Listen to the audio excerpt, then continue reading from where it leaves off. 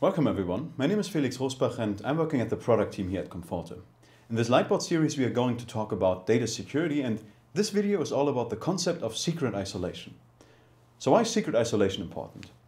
When we think about protecting sensitive information, we want to make sure that attackers aren't able to get access to that information and that they aren't able to get access to the keys to deprotect the information.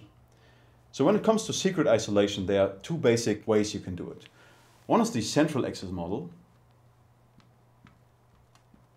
and the other one is the shared access model. So in a central access model, the protection system and its secret are stored in a central location. Whereas in the shared access model, you're going to distribute the secrets to all those instances that need to get access to the sensitive information. How would that look like in a real life example?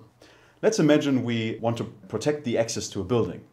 In a central access model, we would have a guard that holds the keys and that makes sure that only those individuals who are allowed to really get access to the building. You also would make sure that third parties aren't accessing. In a shared access model, we would distribute keys to everyone who needs to get access to the building. And in a large building or a large enterprise, this can easily be hundreds or thousands of individuals. So it comes clear that with a central access model, access control and auditing can be easily enforced.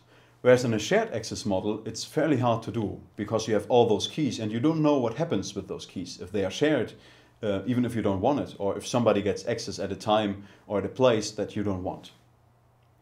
But there's a challenge with the central access model. Because what happens if the guard is off sick? That would mean that nobody can access the building and it's absolutely useless. How can you overcome that challenge? What if you implement a team of guards?